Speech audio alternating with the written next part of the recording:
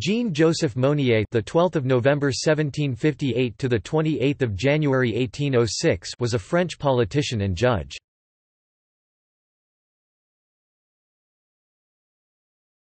Topic: Biography.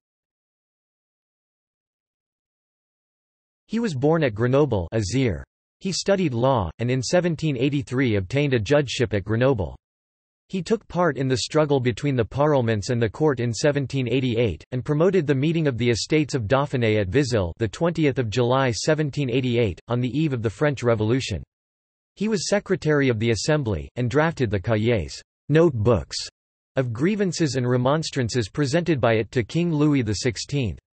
Thus brought into prominence, Mounier was unanimously elected deputy of the Third Estate to the States General of 1789. Mounier also founded the Monarchiens Party in August 1789. There, and in the Constituent Assembly, he was at first an upholder of the new ideas, pronouncing himself in favor of the union of the Third Estate with the two privileged orders, proposing the famous tennis court oath, assisting in the preparation of the new constitution, and demanding the return of Jacques Necker. On 28 September 1789 he was elected President of the Constituent Assembly. Being unable, however, to approve the proceedings which followed, Mounier withdrew to Dauphiné, resigned as deputy, and, becoming suspect, took refuge in Switzerland in 1790.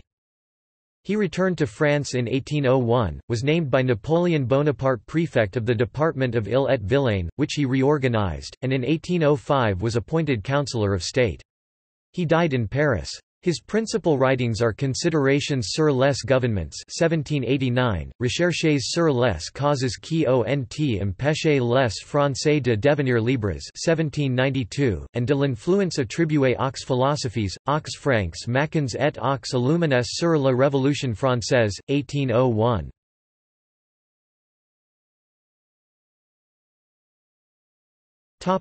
External links Full-text online versions of pamphlets written by Jean-Joseph Mounier from the Ball State University Digital Media Repository